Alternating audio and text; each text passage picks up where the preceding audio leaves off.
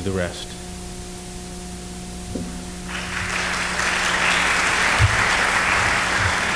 Thank you very much, Michael. What I wanted to do tonight is give you three uh, scenarios for an introduction for Karl instead of one. First one goes something like this. There's an anecdote about um, Albert Einstein that goes something like this. At the beginning, beginning of each lecture, he would take a ping pong ball and throw it up against the wall behind him. He would do that every day, every lecture. And finally, one of the more awake, one of the more interesting stu- students got up and said, uh, Professor Einstein, why do you throw that ping pong ball up against the wall every day? And he answered to the student, Well, according to my calculations, one day it's going to pass right through the wall. And I wanted to use that as a kind of uh, an introduction to maybe some of the uh, aspects of Karl's critical architecture that I have uh, understood through uh, eight years of discussions with him. So, proceeding from that, I would ask, ask all of you again to maybe uh, consider these questions. What is architecture? How can the self address an historical body whose presencing sweeps over many millennia? How can one construct an engagement without desecration, without willful domination, and without self induced amnesia? How can one approach architecture? And on what terms can it be approached? What can one say to architecture? And what right does one have to call oneself an architect? And finally, as architects, what is our obligation? The nature of the covenant we sign with architecture? And how does this covenant open and bring forth the wellspring of humanity, of which we hope it will do and has done? Walter Benjamin. History is not a cumulative, additive narrative in which the uninterrupted syntagm of time flows homogeneously from past, past to future, but rather a montage where any moment may enter, enter into sudden adjacency with another. History as parataxis, time scattered through space like stars, its course no longer taking the form of progress, but leaping forth in the momentary flashes of dialectical constellations. Scenario two, context, the age of crisis. As exiles exposed to forgetting and revisionist history, we reach into the city, into books, into our minds, and into our hearts to stitch together projects and documents and subject them to an imprecise critique of pure narration, which essentially wills itself towards a projection or a reflection of how things really were, an act of reconstruction, or rather how things really are, or perhaps the way they will be, as if we have a kind of unsettled debt to settle with architecture itself. This act represents a reconciliation between the past, the present, and the future, and especially all points in between, caught in between. As such, these words will towards an architecture, towards conception, towards birth, and towards life, backed by blind faith that they will actually end up. But end up where, and for whom, and for when? And when, excuse me. Contemporary architectural discourse offers a wide array of influences, conditions, contexts, ideologies, and causalities, which have been sampled, further being exiled from other contexts, and essentially become remotivated in their new continuum. Answering the call from their space of deep slumber, these influences are hopeful and youthful again, and they are not in great pain, nor do they resurface unwillingly.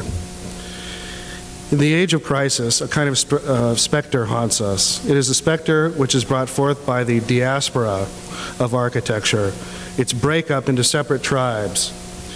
In this current diasporic uh, fragmentation of modernity, architecture's ma- marginalized status can be imagined as an immobile patient etherized on an operating table. Meanwhile, the recent past that haunts us is the faint memory of a willful and youthful modern architecture, of which 70 years after its inception, we can only project a ghosted image of its utopian, universalist aspirations, undone and redone in the postmodern. Clearly, architecture itself is neither an invited nor an integrated inhabitant in our advanced contemporary global capitalist culture. It has been said that history, the history of architecture, or as I would say, knowledge, and culture is a history of the transumption of models, from Fredric Jameson. The continual cycle of creation and destruction of these models is one of the foundations of the notion of intellectual and moral progress and serves as the basic dialectic that stages the moral uh, progress, uh, excuse me, that stages the evolution of the Western logos. The models which served the ancients were models based in myth as opposed to science.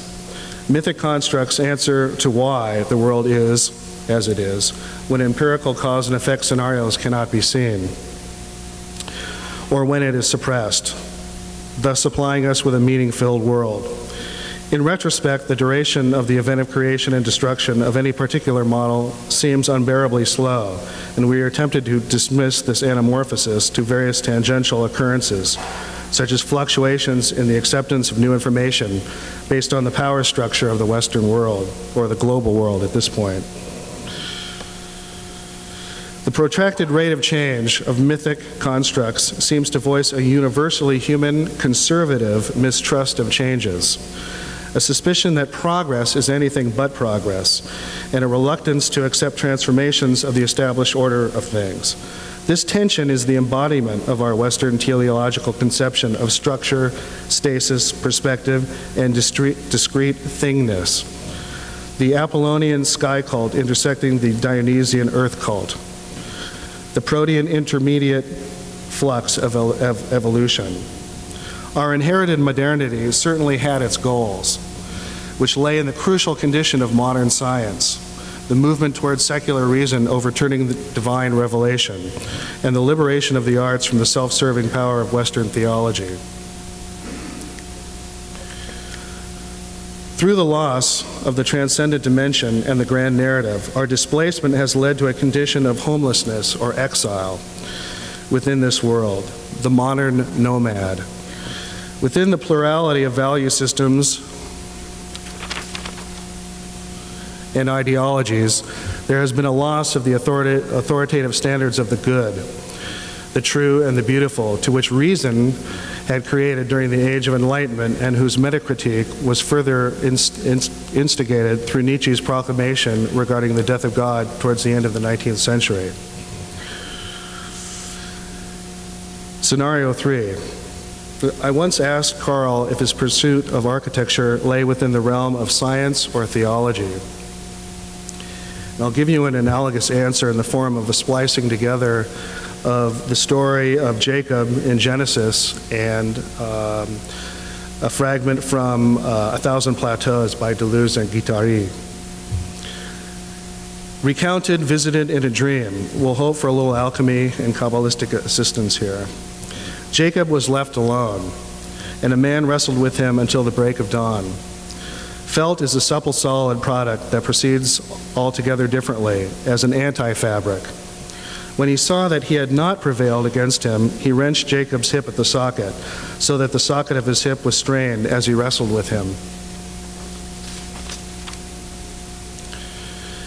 an amorphous collection of juxt- juxtaposed pieces that can be joined together in an infinite number of ways. We see that patchwork is literally a Riemannian space. In simplest terms, Boulez says that in smooth nomadic space-time, one occupies without counting, whereas in a striated space-time, one counts in order to occupy. It is haptic rather than optical, a body without organs. Then he said, Let me go for dawn is breaking. But he answered, I will not let you go unless you bless me. Said the other, What is your name? He replied, Jacob.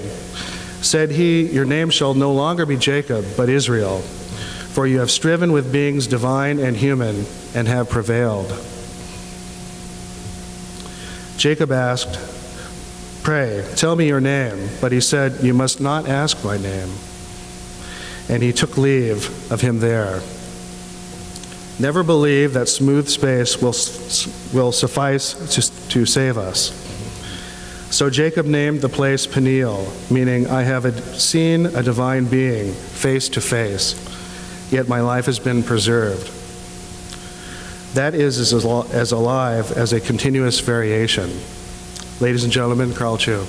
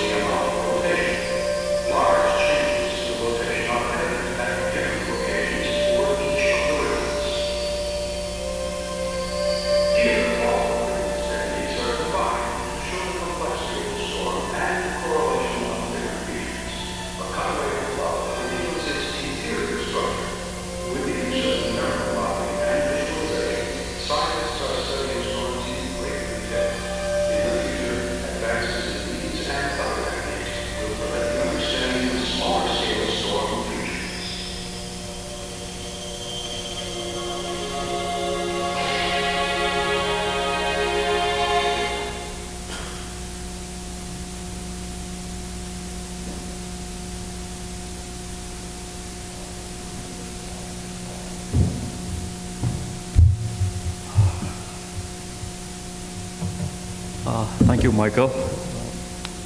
Thanks, uh, Eric.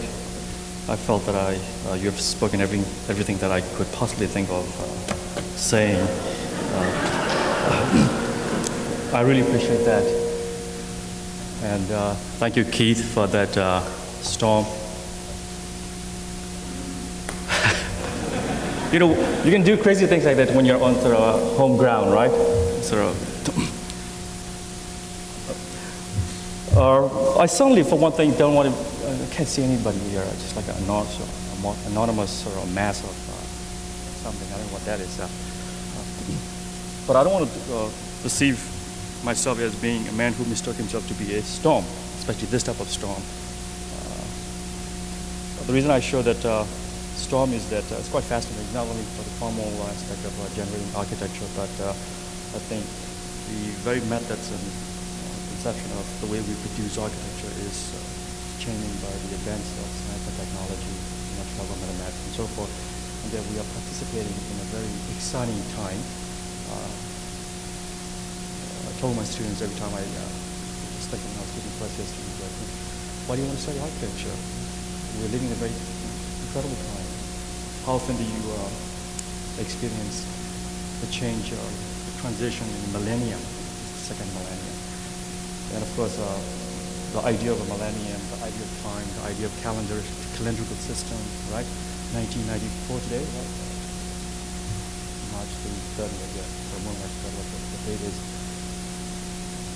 is quite complex because everything is woven into the structure of time which we invented, you know, part of the cosmological time. Uh, we are born into it, so to speak, but the time that we're born into is not just natural, it's not a given condition of uh, the time of the universe, the time of solar system. But on top of that, there is an artificial time, the time of the specific calendar. And that calendar is not the Aztec calendar, uh, not the uh, Egyptian calendar, not the Chinese calendar. so architecture is uh, interwoven. Now, I, wrote this. Uh, I'm not sure I, am going to read this. Uh, after I wrote that, uh, I said, did I write that stuff? because I was perplexed, you know, at night, you know, when you're typing up at 3 o'clock in the morning, you felt like you sort of thinking and meditating sort of something profound. And I, after I wrote it this morning, I went to bed, and I read it. I just couldn't believe that I wrote that stuff. You know, I definitely was a different being at that time at 3 o'clock in the morning. You know, when you're tired at uh, 9 o'clock, when you woke up, you look at this, you say, what is this stuff? But anyway, coming back to the notion of time, uh, I was saying that uh, architecture and everything else, especially now the global culture, uh, is uh, being permeated by certain notions of time, and that uh, everything is structured according to that time.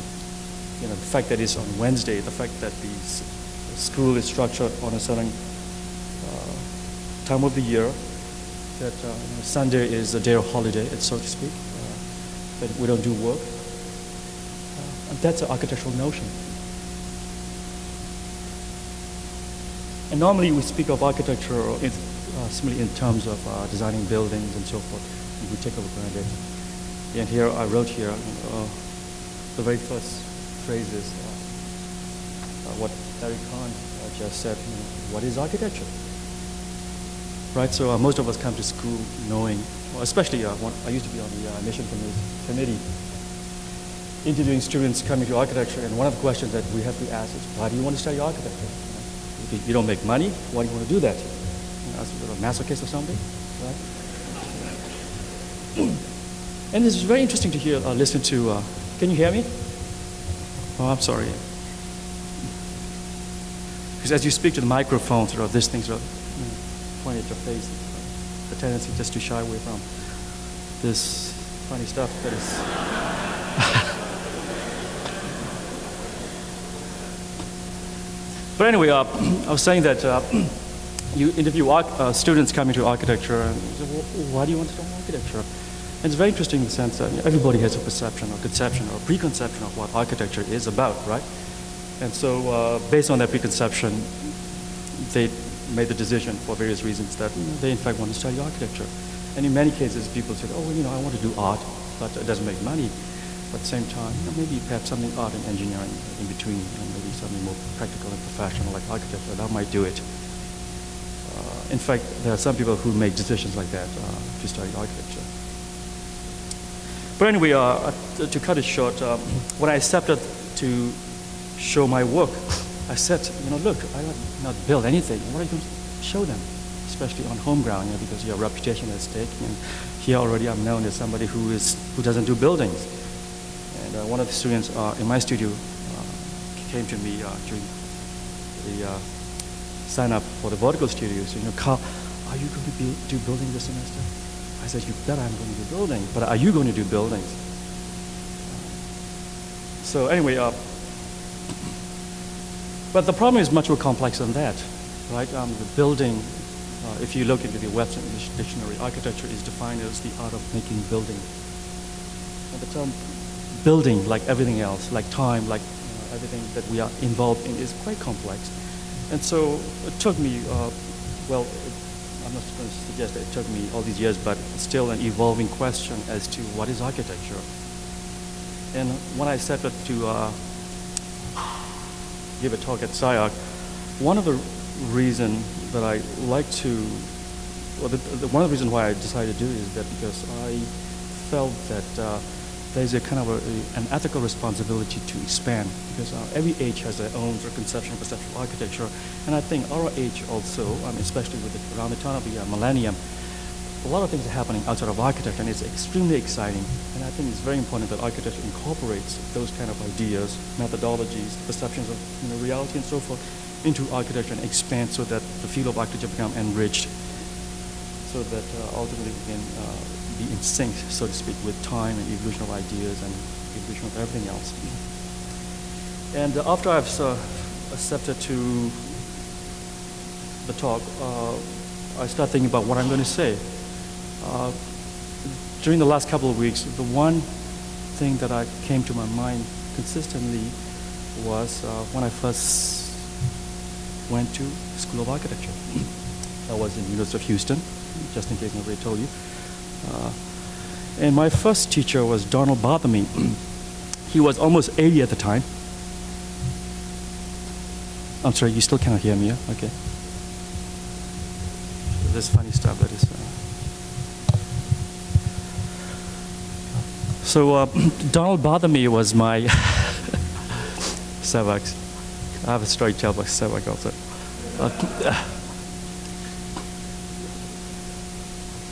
you know, Donald Barthelme at the time was about 80 years old. Uh, he, at the time, I was in 70, I think, two or three. Uh, by the way, uh, somebody called from Houston uh, who was a colleague of mine, uh, told the secretary that he's coming. I'm just wondering who that person is. Um, but anyway, so Donald Barthelme was my first teacher, and uh, you know, the first, the freshman year there, were about 120 students. It was a big school. And he gave us three projects. and the first project is the question, who are you? Oh, can we have the first slides? Oh, I do have the control. Oh, okay. Thanks, Pete.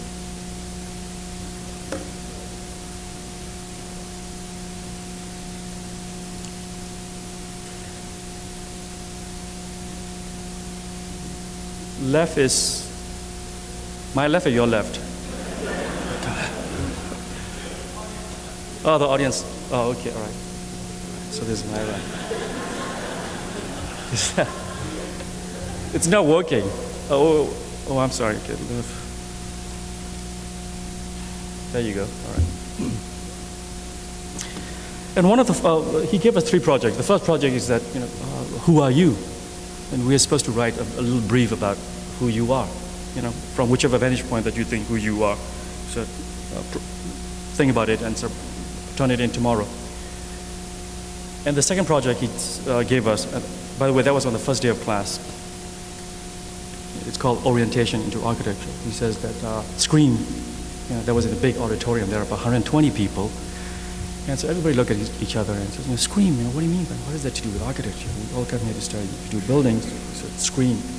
So uh, we, all of us, about 120 or so of these students, started screaming, you know, make the feeble attempt to uh, scream. Everybody's kind of somewhat reserved and shy because you, know, you don't know the other people. They're all strangers. So everybody screamed, and he says, that's not good enough. You guys are not screaming. You're wimpish. So, uh, yell. So he told us really, I mean, you really have to scream, I mean, like a primal scream. Just scream out all of that frustrations, whatever. He didn't say that, but just scream. So after a few tries, the whole auditorium started sort of trembling, know, screaming. Okay, good. You finished your second project, he said. And then uh, the third project that he gave us was, well, design a pin. You know, like a pin. Everybody look at each other. Pin. So design the smallest pin that you can make. Right? It's up to you how you make it. And so he said, bring it on Wednesday, right? The next so we have to, on Wednesday, we have to turn in a little brief about uh, who you are and design a pin. And of course, uh, nobody can really design a pin. I mean, I mean, I don't mean design, but make a model of a pin, the smallest pin that you can make. He said, don't cheat. Don't go buy a little pin, ready-made pin, but you have to make one. And obviously, everybody fails. And he says that uh, during the review, how many angels can they dance on top of your pin? And uh, from what I can remember, uh, those, some of the pins are really big.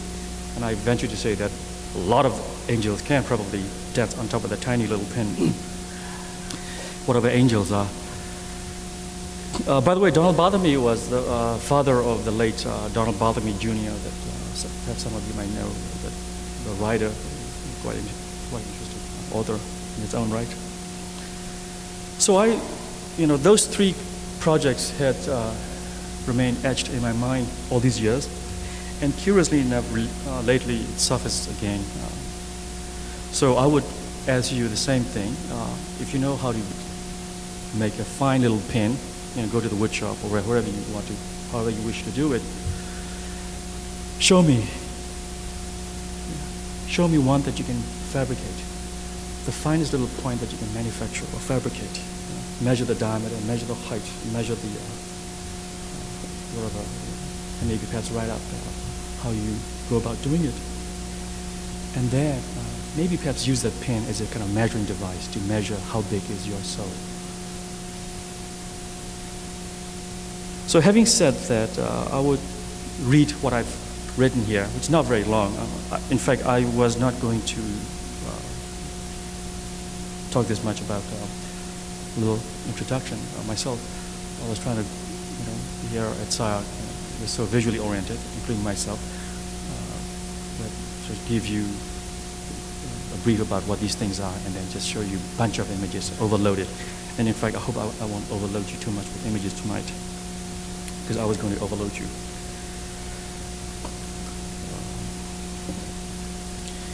And uh, I remember I asked Eric Kahn, he said, what are you going to show? And everybody thinks you have not built, you have not really published anything, you have not shown anything. And the tacit assumption is that uh, I don't mean to uh, critical, but uh, so, so you have not really done much. You talk a lot.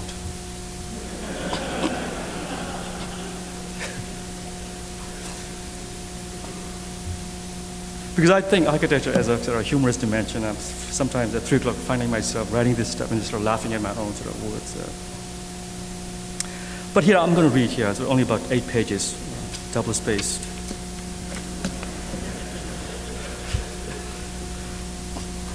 So the first line is, "What is architecture?" It's pretty serious. I can't believe it, but I'm going to read it since I wrote it. So I'm going to read it. Uh, the term architecture is used in many contexts ranging from science to philosophy to informatics. For instance, uh, it is not uncommon for cognitive scientists to speak in terms of the architecture of neural networks, whatever that is, or philosophy to address the architecture of Hegel's philosophical system. It is clear that uh, they are speaking about the constitutive structure of relationships of these systems, right? Almost everyone knows what architecture is or is about, and every student of architecture already presupposes an idea of architecture, uh, just as I told you earlier about uh, my experience of having sort of been in an admissions committee. And in many cases, these preconceptions, I'm sorry, these preconceptions serve as the basis of motivation for the desire to pursue the field, the field of architecture.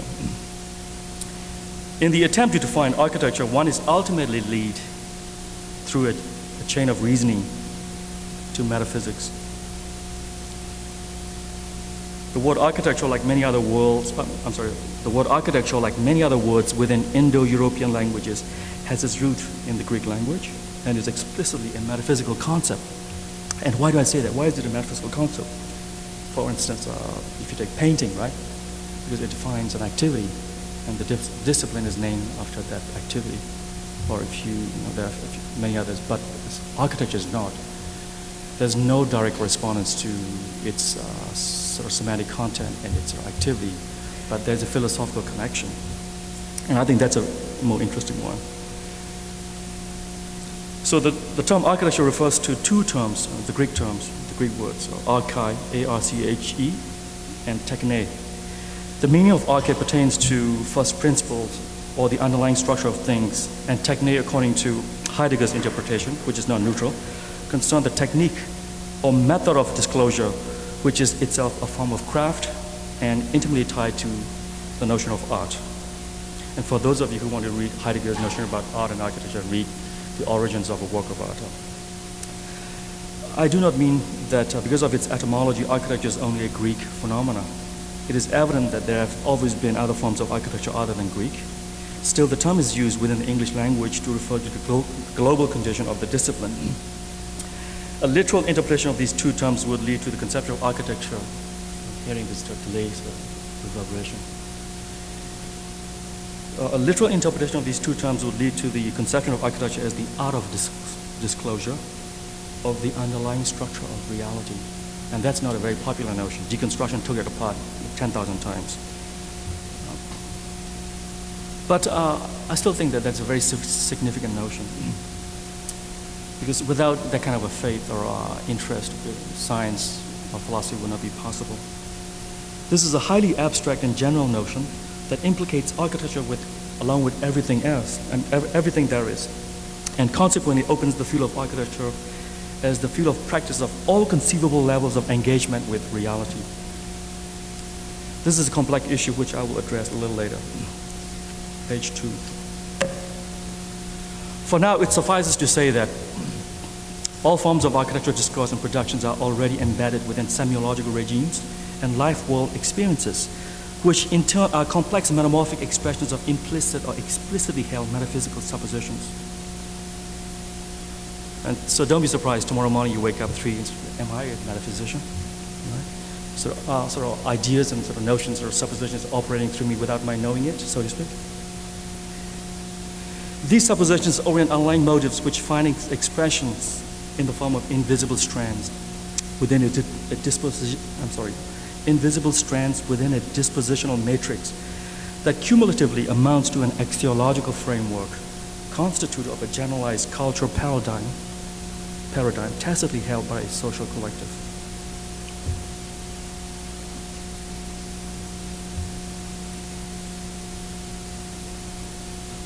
Do I have to point at the image or something?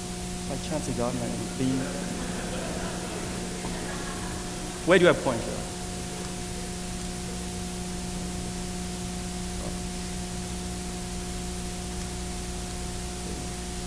Do you guys see the movie uh, Being There? This man who lived in this house for, I don't know, a good 60, 70 years. And one day uh, went out into the uh, city. The government doesn't have any sort of record for him. He doesn't know the culture of outside, the system outside. And the only sort of device that he left with was this remote control. So everywhere he goes, he could click at the wall. If he doesn't like it, he click it, change the channel, right?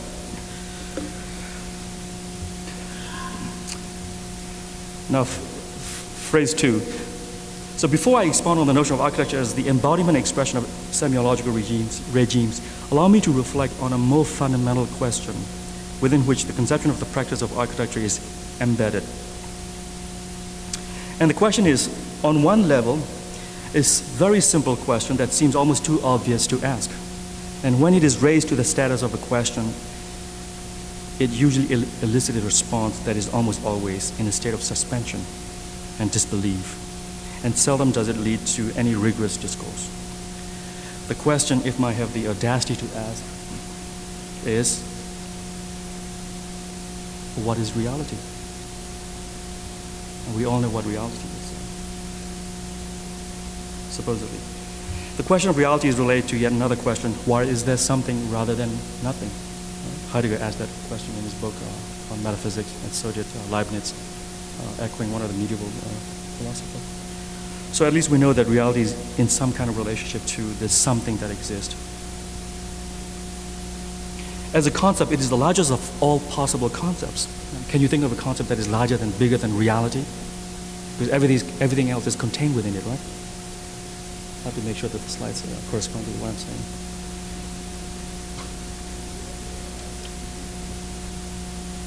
And it functions as the limit of all limits concept, all limit concepts, beyond which there is no other concepts without being in some way get implicated or contained within the scope of this limiting concept called reality. No doubt that this is a paradoxical, um, this is paradoxical in that the concept of its limit is already subsumed by its seemingly unlimited dimension of its obscurity, even though we know what reality is about, each of us do. We have a version of our own sort of conception of reality. So, I mean, because of this kind of seemingly unlimited dimension of its obscurity, uh, which led Anaximander, a pre-Socratic philosopher, to refer to it, it as the non-limited as opposed to being the limit concept. Are the two terms referring to the same phenomena, meaning reality and something that exists?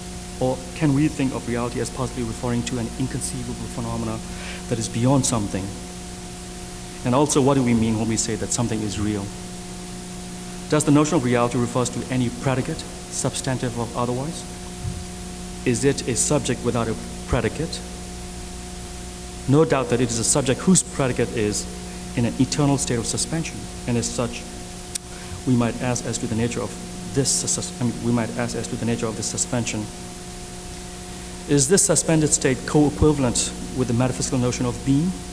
Is not being with a capital B, capital E, capital I, N, G? Is not, is not being already in an eternal state of suspension? a metaphysics of the compression of, I'm sorry, a metaphysics of, a metaphysics of compression of the in-between states where all possible past and all possible futures are inscribed within the suspended state of the present as an eternal given. Being is always suspended in a state of eternity.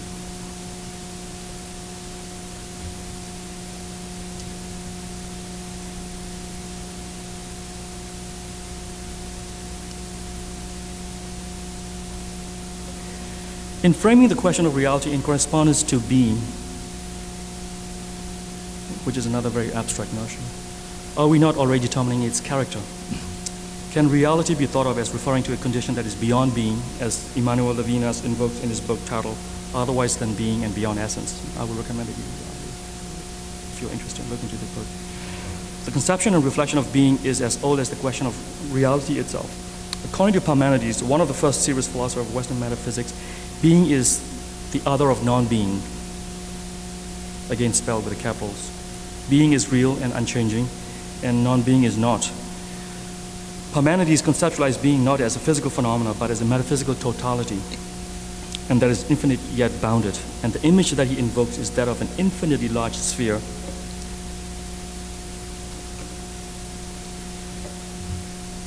This geometrization of a metaphysical idea is the first rigorous attempt to symbolize a model of the vision of reality. Prevailing philosophical wisdom tends to wisdom tends to be literal in interpreting Parmenides' conception of being in that it is opposed to the concept of change and movement. Let it suffice for the moment to say that along with Gödel, being is not antithetical to change and the embodiment of time, but that it is inclusive of all possible modalities of tensed existence. Tense like T and SED, tensed existence.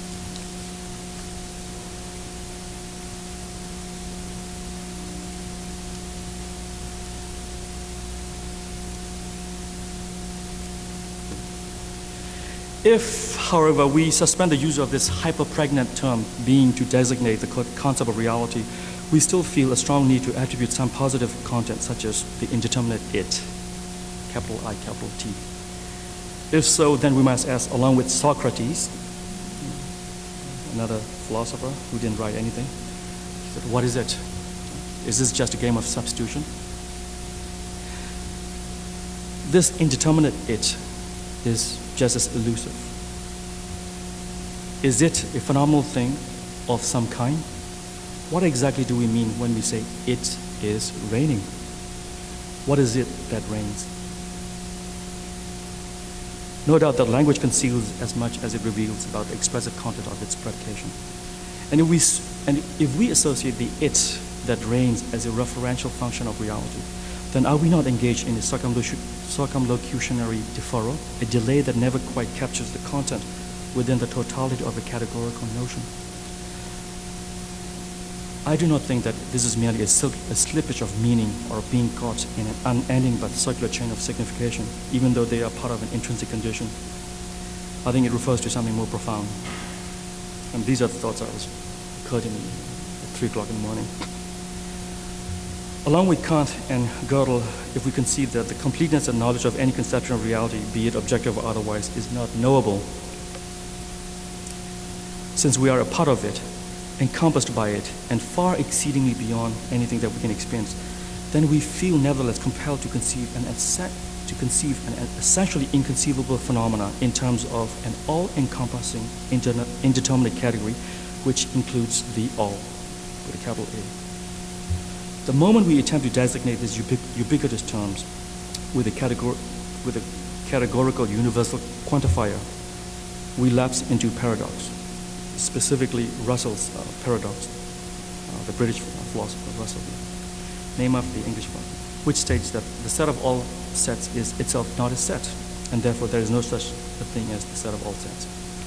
The hidden ambition of the concept of reality is precisely its desire to be the set of all sets, a universal set, and precise, and in doing so lapse into a paradox that cancels itself out,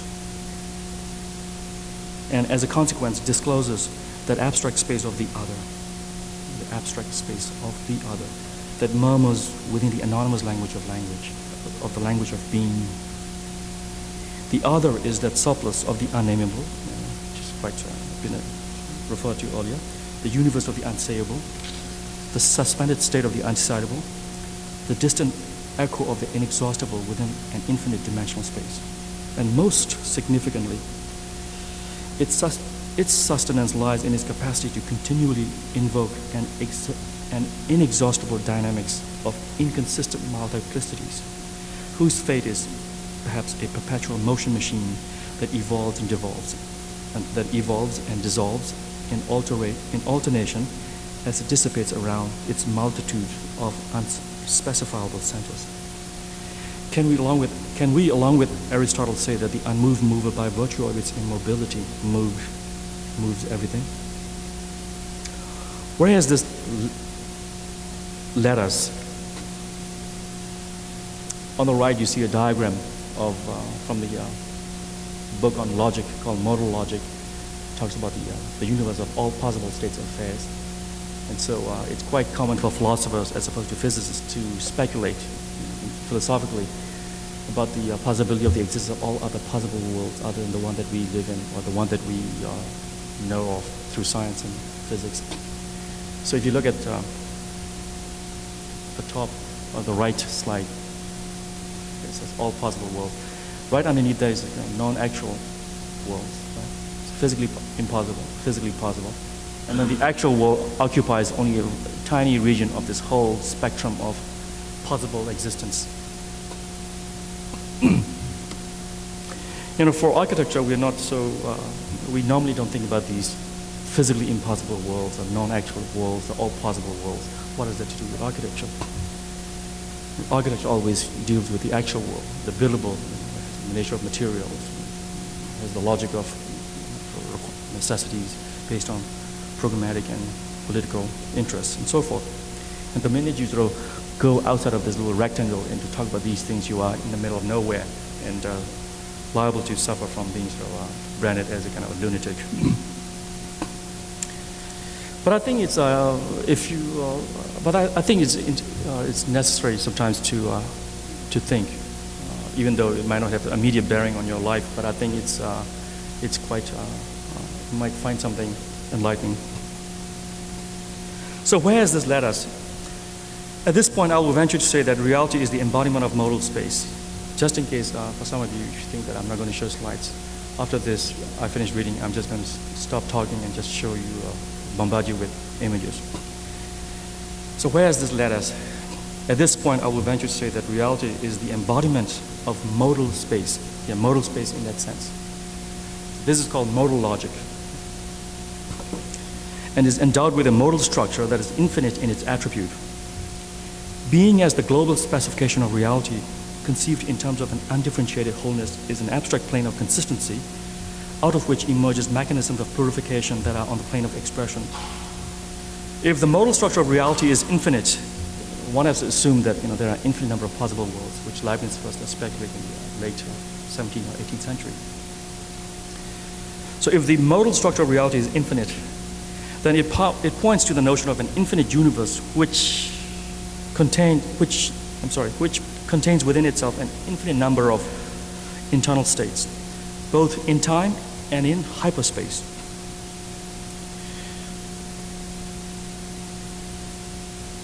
It therefore must have an infinite number of connected branches, even though it may, at any specific internal state, only has a finite number of branches from each node.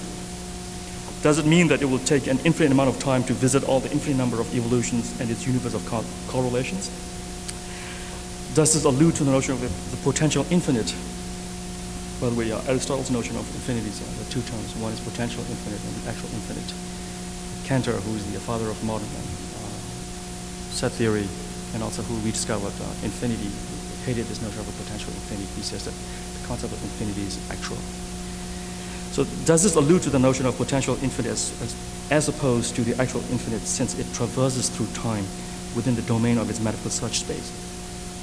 By the way, here I'm borrowing terms from Aristotle just in case you think I'm sort of uh, talking these free-floating, sort of non-determinate meanings. These concepts derive from Aristotle and who was also very much influenced by Plato and Parmenides uh, before them. So we're talking about metaphysical such, metaphysical search space within which all possible sort of state of affairs can take place. Time, according to Plato, is the moving image of eternity.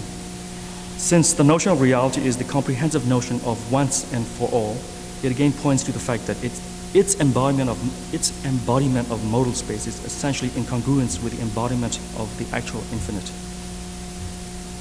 It already, it already contains within itself the metagenetic code for the conditions of its own creative possibility. Provocative as it may seem, logical necessity entails logical existence, and logical existence in concrete terms implies formal systems.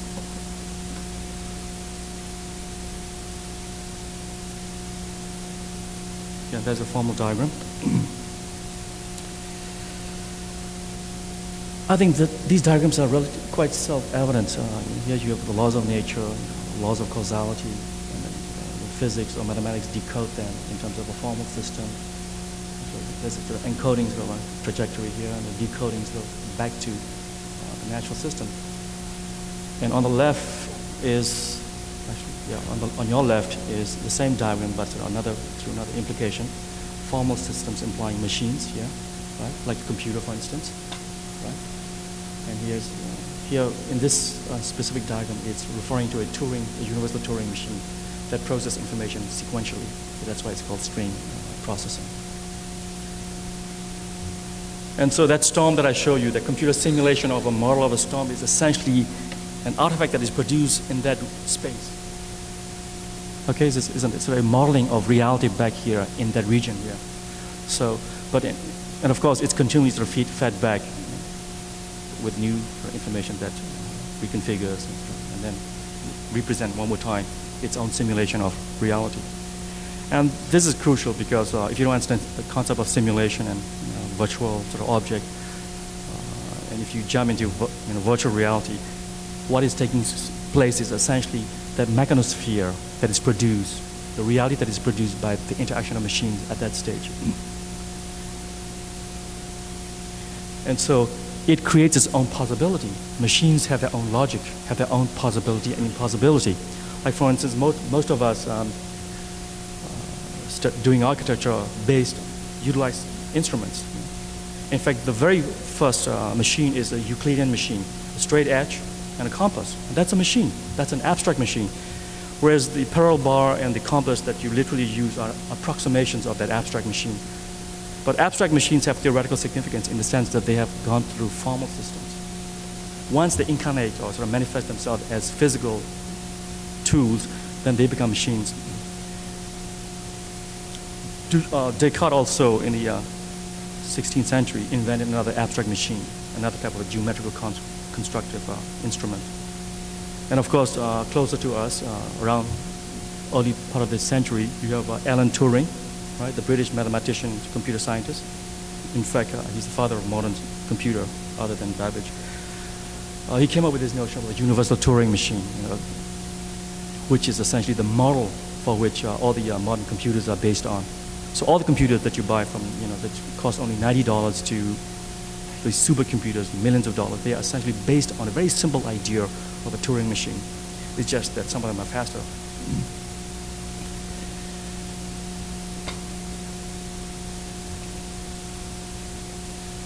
So um, let me see where I, that's the thing about reading is that you got to be in touch with the, the sentence.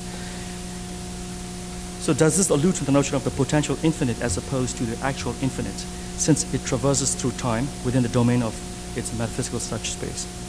And that's a very significant notion. And for us, uh, I was talking to Michael Dobry, uh, who I enjoyed uh, discussing many things, not on modal space. But the idea of a search space is very interesting because the minute you frame it, you have to search for the configuration of the generational form within the parameters that you've established. You know, there are various possible solutions within search space. So you know, the solution that you come up uh, as a proposal for architecture is just one possible version among many. Time, according to Plato, I'm repeating myself, is the moving image of eternity. That's a beautiful phrase. I've wondered about what exactly it means. Time is the beautiful, time is the moving image of eternity. Since the notion of reality is a comprehensive notion of once and for all, I think I read this. Anyway, it again points to the fact that its embodiment of modal space is essentially in congruence with the embodiment of the actual infinite. It already contains within itself the metagenetic code for the conditions of its, of its own creative possibility. Provocative as it may seem, logical necessity entails logical existence, and logical existence in concrete terms implies formal systems, which in, which in turn implies machinic attribution.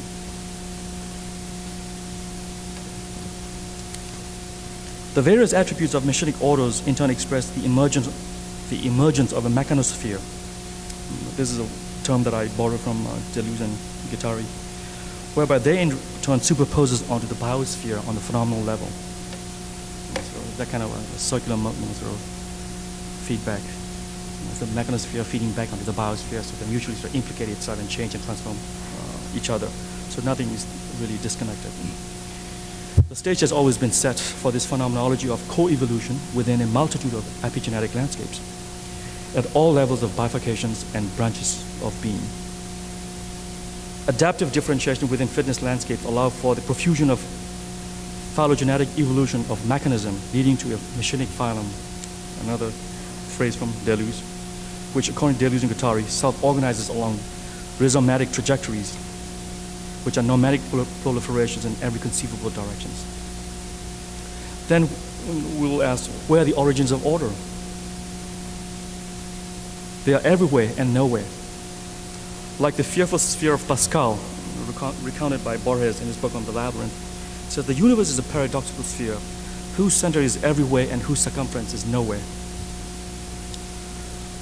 But before that, the logic of uh, Pascal's reasoning was paved by Nicholas of Cusa, And the reason I'm just going through this is because uh, the perception and conception of the universe that we have inherited, that we embodied now, has a whole sort of has gone through a whole evolution of uh, transformations of paradigms and thoughts.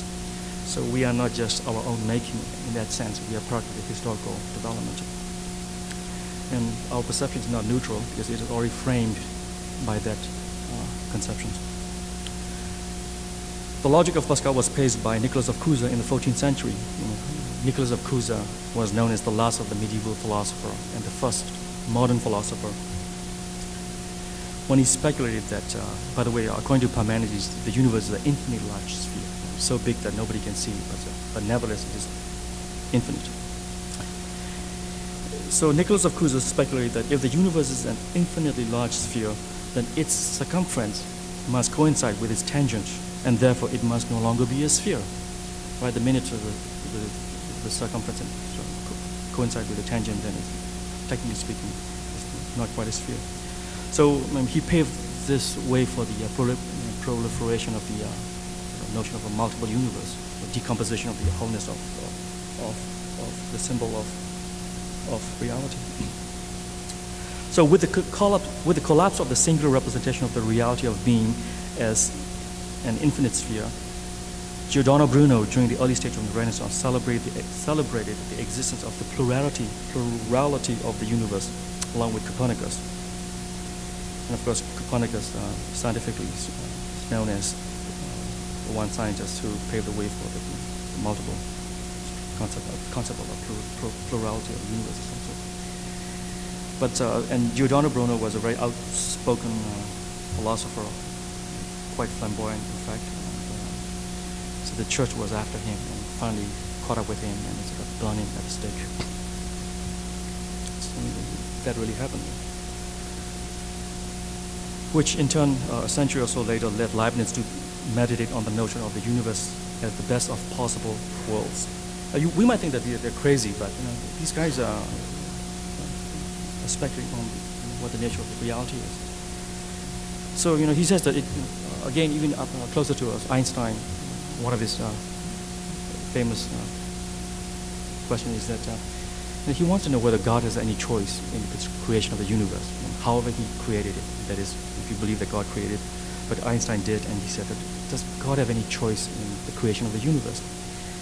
And he really would like to know. And in fact, uh, his subjective aspiration for doing physics is to know how the mind of God works and by studying physics, you know, by studying his God's artifacts, so to speak, you know, he would have access to that logic of, of the divine. So it is an irony of metaphysics that it takes the collapse of the singularity in order to discover the space of modality, of infinite proliferation, only to realize that the modal space that is already implicit, only to realize that modal space is already already implicit and folded within the invisible hypersphere of the Parmenidean notion of being. What is time? Asked St. Augustine in the fourth century. You know, who, um, in his book on Confessions, which incidentally is one of the first autobiographical book uh, in the West. And I would recommend uh, all of you to read uh, St. Augustine. He says that uh, if he doesn't think about time, he knows exactly what time is about. But the minute he starts thinking about time, he said, I have no idea what that is. So, but uh, all I can be sure is that uh, the present exists, right? Uh, the philosophy of the now, the phenomenology of the present. And so, what about yesterday? You know, I experienced that I've gone through yesterday. I know that the yesterday was there, but it's not here. But what about future? Yesterday, I know that uh, today will be here, and therefore, I'm quite certain that uh, tomorrow will be there too tomorrow. So, but he says the one thing you can show is only the present. So he came up with this notion of, it, this is the phenomenological version. He said, so I can only be sure about the presence of the past and the presence of the future from the vantage point of the present. And which is quite interesting in the sense that a lot of architectural uh, theory is based on the phenomenology of the present, and that any theory of any theory or conception of architecture implicitly or explicitly entail a conception of time.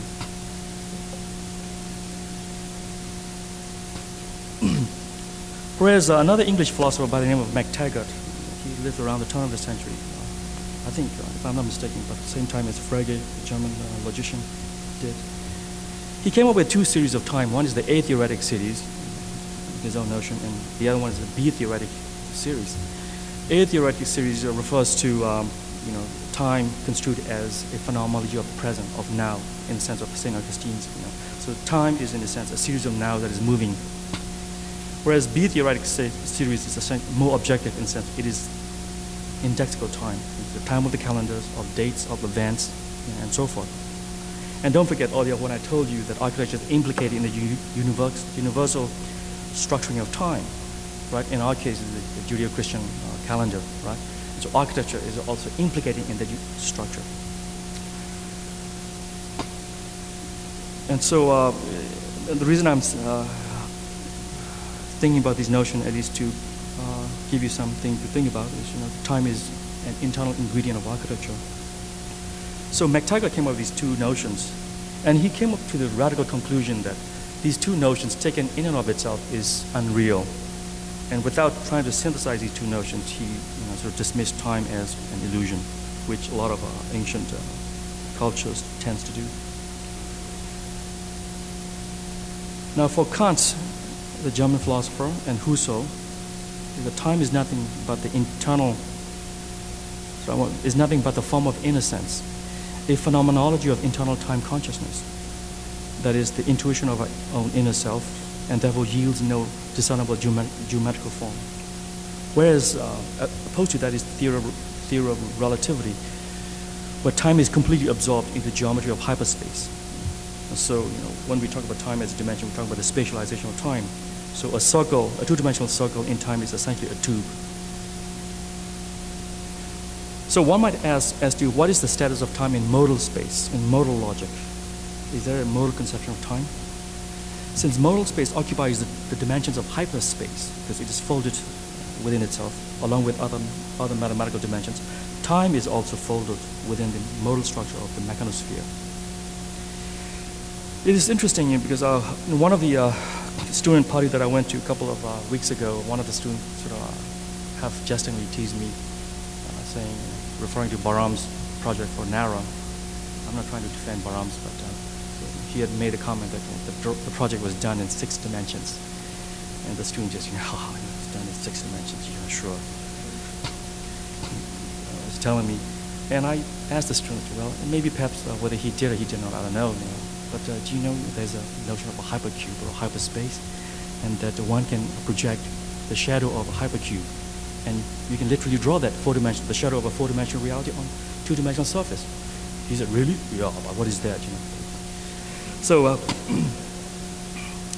you know, for us architects, sometimes uh, it's, uh, it's, we're bordering on sort of a certain kind of uh, ignorance. I don't mean to be critical, but um, I was like that too when I was a student for many years. And I think it is very important to know from physics and mathematics that these guys are thinking about some very, very abstract terms about which we have no direct physical correlations. I'm referring to here, portable diagram. But nevertheless, they are real and true within their own sort of discipline, within the logic, for instance, in mathematics. Uh, I was reading that book, uh, I'm sorry, uh, on chaos.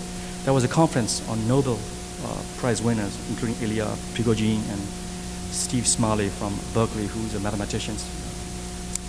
He has done uh, innovative uh, mathematical discovery in the, the, mathematics of chaos. And in his opening statement, he said something very interesting. In the audience was Mandelbrot, Ilya Prigogine, and a whole host of other chaos uh, scientists. He says that mathematicians, uh, when they formulate mathematical uh, entities, they have nothing, there's no bag of tricks or no book of uh, pre-established formulations that they can turn to. You know, mathematicians work in that possible universe of mathematical possibility. And through their own sort of logical uh, acumen, they discover the consistency of these new types of undiscovered logical and mathematical formulations. Whereas, unlike in physics, I'm not saying that physics is less uh, significant, but you know, for instance, we all know that uh, Einstein could not have discovered the theory of relativity without uh, the pre-established notions about Riemann geometry. In fact, he relies on the instruments of uh, the mathematical tools that are already discovered and formulated by mathematicians, and then sort of through his own innovative insight and sort of reconfiguration of these uh, formulations, he's able to apply it to the physical universe. So there's a fundamental difference in the way mathematicians work and physicists work. And I'm referring to this just to give you an idea that it is not unrealistic for mathematicians to think in terms of infinite dimensions. And uh, for instance, uh, one of the uh, recent uh, provocative notions about the universe is the so-called string theory, which, to be sort of consistent, to be viable as a sort of a theoretical hypothesis, requires, if I'm not mistaken, 10 dimensions. And of course, uh, a, a, physicist of uh, Richard Feynman's persuasion, who was a profound phys physicist, scientist at Caltech, died a couple of years ago. He, he hated uh, string theory. It's a bunch of you know, theoretical concepts having no sort of correlation to physical reality. And so he was quite critical about string theory. But whereas like somebody like Ed Witten, who's at the uh, Institute of Advanced Studies in Princeton, you know, the guy just, you know, it's very natural for him to think in terms of 10 dimensions, you know, 20 dimensions, an infinite number of dimensions, and that maybe perhaps, I'm also of the persuasion that, uh, that we need to think about it. Uh, maybe perhaps, even though they are so far-fetched from architecture, maybe perhaps in a way that there's, there's, there is as yet an undiscovered way to, to incorporate them into an architectural notion. And that's one reason why I accepted to uh, talk about uh, architecture, because I think architecture potentially, and depends how you choose to formulate and perceive and conceive architecture, it can respond to a multidimensional hyperspace. Okay, now, where is architecture in this state of affairs? Since architecture is already embedded within the reality of being, its function on the plane of expression as a systematic logic of embodiment. Since autopoiesis is an intrinsic part of being, architecture participates and co-evolves within the mechanosphere as an expression of its autogenetic logic of embodiment. Here, the concept of architecture refers not just to a thing or a building, but a statistical ensemble within an, within an adaptive landscape. An emergent phenomenon symptomatic of the machinic orders within semiological regimes. Is architecture not ex the expression of desiring machines? Again, another phrase from Deleuze. If we extend the notion of a machine beyond machinic arrangements, so that don't think the machine as a kind of have its own kind of strange desire, but the constellation of all social, political, mechanical, ideological, formal arrangement produces their own internal engines of desire. Desiring machines within which we are all implicated and folded within its logical nets. So much so that the dialogical oscillation between the implicate and explicit orders of the mechanosphere of the implicate and the explicit orders of the mechanosphere has produced a universe of counterfactual discourse that is both real and virtual at the same time. I'm almost getting there. These desiring machines are, in symbolic terms, the engines of reality, driven by the logic of the other within the same. The love gasoline of Duchamp dissipates across the entire field of architecture with various intensity, with various intensities of ontological thresholds as it dissipates and reconfigures territorial organizations along enunciative trajectories. The mechanosphere is the abstract machine par excellence, a reality engine that perpetually self-organizes and pro proliferates itself in modal space. Here, of course, I'm using a diagram here to infer and extrapolate onto another uh, modal condition. Then I would uh, need another type of diagram. Its logic of possibility stems from the mathematical universe. Its logic of possibility stems from the mathematical universe of constructibility and maintain a meta continuity between the factual and the counterfactual in logical mathematical space. Now, let me uh, say one thing about the idea of constructibility. The fact that something is mathematically constructible doesn't necessarily mean that it is, is physically constructible, right? Because something that you construct in physical space corresponds to the laws of physics. Whereas for mathematicians, there are a lot of mathematical formulations that you can construct theoretically that has no immediate direct or literal physical correlate. And that do not necessarily render them as unreal. They are just as real. Therefore, it seems necessary to extend the phenomenology of the embodiment of time beyond the historiographical delimitations marked by the space of experience, you know, that all, all of us share, on the one hand, and the horizon of expectation on the other.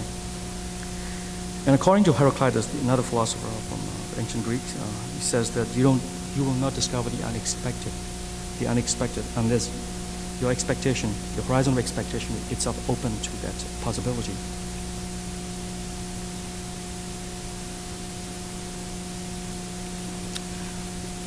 Therefore, a systematic logic of embodiment of architecture is, eh, I'm sorry, therefore, a systematic logic of the embodiment of architecture as a spatialization of time and information can occur within modal space if one do not preclude the metaphysical possibility of the unexpected, of the counterfactual, and of the autogenetic logic of the strange and the uncanny that resist domestication by the semiological mechanism of organizations.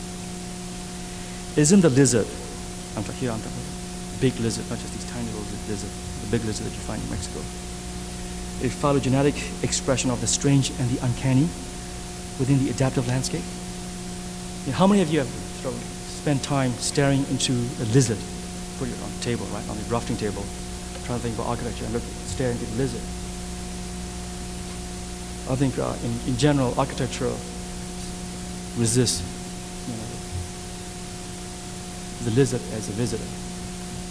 The lizard, the lizard is never welcome within architecture.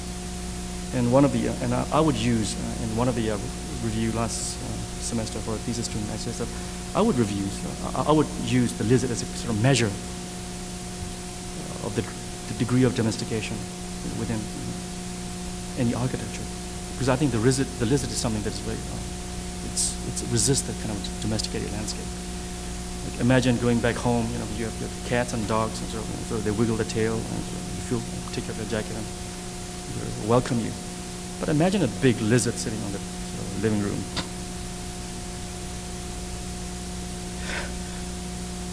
And the same thing is true with the owl too. You know, owl has been a symbol throughout the ages.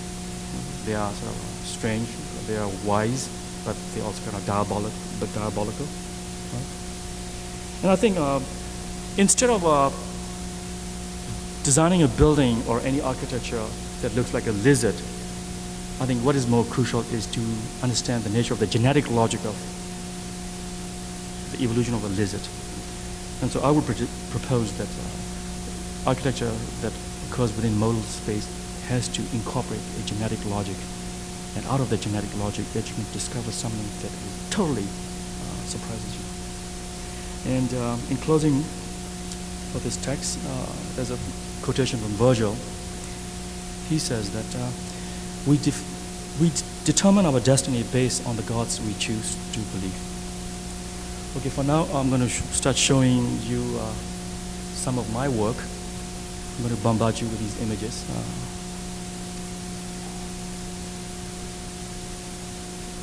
now these images here are from uh, cellular automata. These are essentially uh, diagrams of uh, tractors. Uh, I was planning to talk about the universe of cellular automata, which I'm very interested in right now. I'm trying to sort of interpret, incorporate from a modal perspective. Uh, I haven't got to the point yet, maybe perhaps next time. Uh,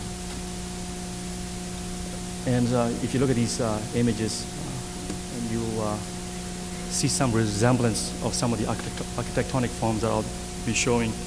I must also caution you that the images, the project that I'll be showing you are just one step away from becoming building. So I hope you can bear with me and uh, take it for what it is and I will not try or even attempt to explain what they are, other than the fact that each of them is produced by a genetic logic of transformation, a recursive formula. And I didn't try to design it because it looks good or because it looks you know, proportional or interesting, but it is based on a systematic transformation.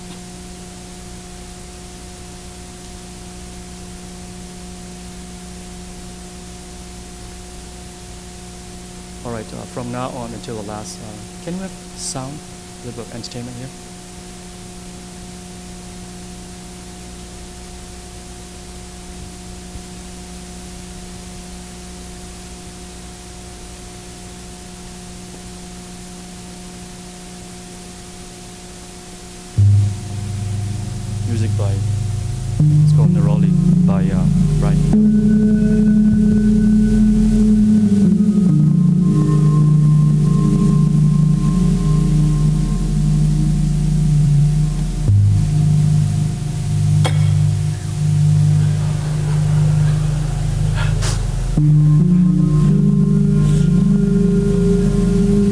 Midas touch here.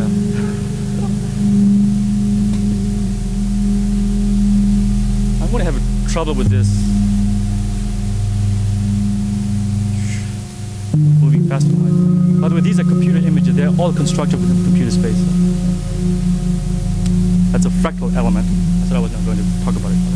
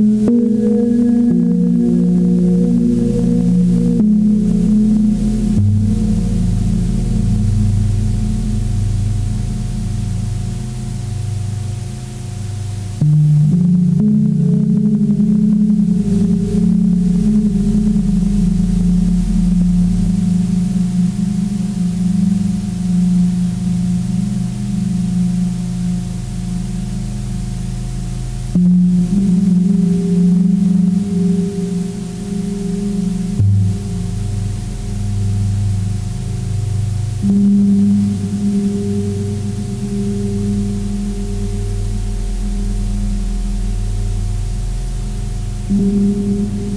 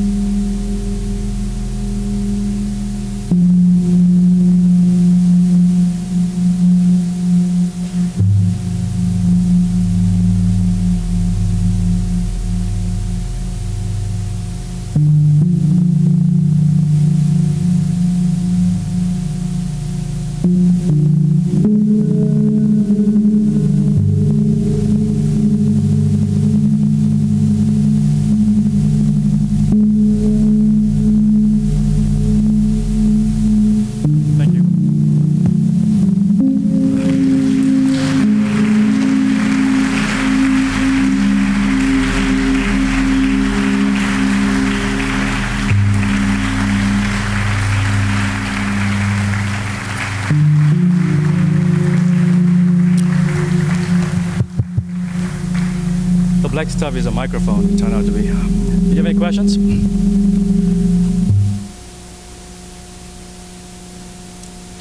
No questions about modal logics?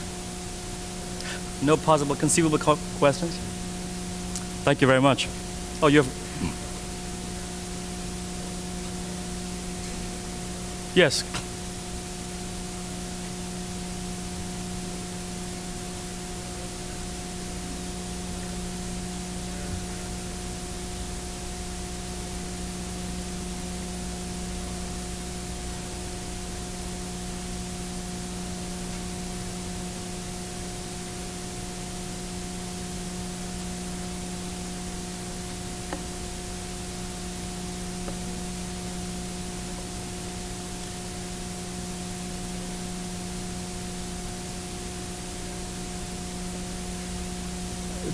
It's, I see. It's uh, difficult to. Prob- prob- probably a number of uh, issues, I think. Maybe perhaps. I'm not trying to be apologetic, but uh, maybe it needs clarification. Maybe perhaps I didn't articulate it very well. Uh, so maybe perhaps they are staged uh, in a context that is not quite explicitly architectural. But if, you are, if you have any questions, I would be more than happy to respond to you.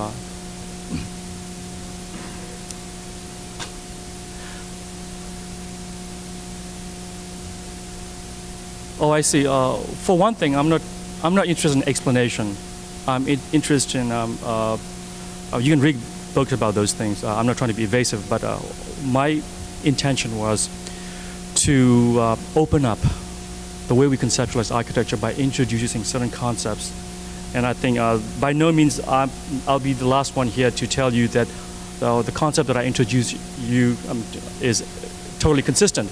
I mean, these are my reflections. Uh, on one level, you have to take it at that, but on another, you know, you have to uh, uh, begin to uh, quest question about your own sort of a system about thinking about architecture. So it's not so much I'm here just to explain you how a hammer is being sort of made or put together, but I can talk about these technically, how I construct them in geometrical space. But I don't like to do that. Uh, I'd rather do it in my class. Uh, but in a lecture like this, I would rather introduce concepts and ideas that are provocative and that are for you to think about. Uh, I'm, I'm of the uh, sympathy with you that, of course, I should try my best to explain clearly what I'm tr trying to uh, express. But I, it's clear to me. And of course, you know, because I wrote it, there's no doubt. I'm try not trying to be uh, um, apologetic about it. But uh, if you do have any specific questions, I'll be more than happy to respond.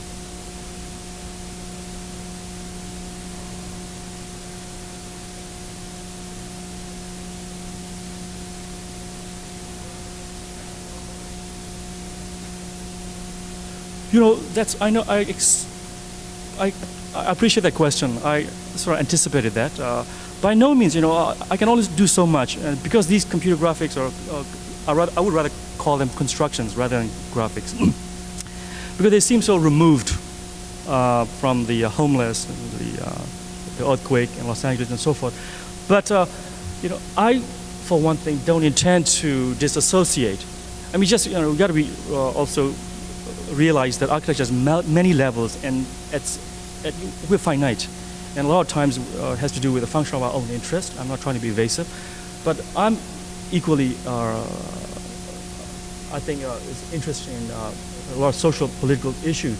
But I think there is another connected dimensions. If you remember the diagram that I told you, any kind of abstraction is not totally removed or detached from whole larger epistemological sort of matrix that within which we're implicated. So if I don't do it, you know, if I don't address it explicitly in this lecture, or maybe perhaps maybe I might do it some other time, or someone, one of you can do it. But I cannot do everything. So for today's lecture, I'm just trying to focus on the idea of a modal space, and that these constructions that I have produced are essentially possibilities that are produced by the formal system within the computer itself and the software that I use, and I'm, I'm limited by that you know, if I uh, have you know, uh, more mathematical sort of acumen and uh, if I can, if I know how to program the computer, I mean, are, these are not just the kind of things that I'm interested in. There are a lot of other stuff that I would like to explore, but I'm limited by the resources, both financial, intellectual, and physical. So I'm not sure whether I'm responding to you or not, but uh, I think soci I mean, these are sociological constructs. I mean, don't take it too literally. I mean, the, the natural tendency is that these geometrical constructions are totally removed from reality and social problems, but we've got to look them from the perspective and vantage point of a cultural sort of a situation.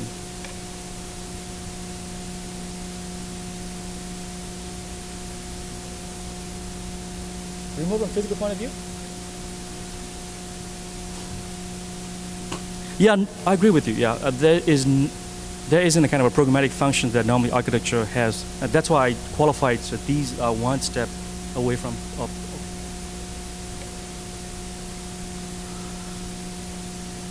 you know, I would think of the opposite. It,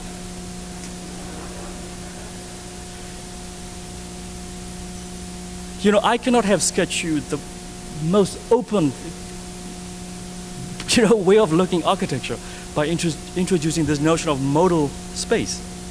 Okay, so I would totally disagree with you, even though I would agree with you in the fact that I didn't stress social issues. Yes, I'm guilty of that, but doesn't mean that it is not inclusive. It, the system is much larger to contain what you're talking. I might sound kind of uh, tap dancing with you, but uh, it is, you know, I, I'm of the belief that all levels of issues are implicated. So I, I'm not worried about it.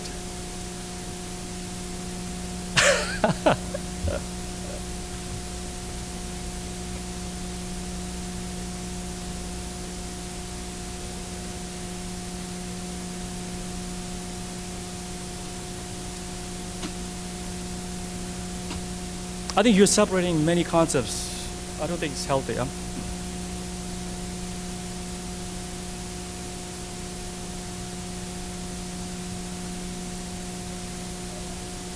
I'm sorry, I, I, I, missed what you say.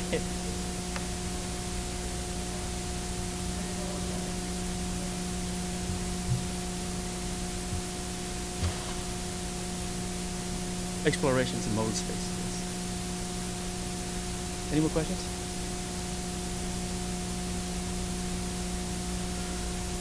Good luck.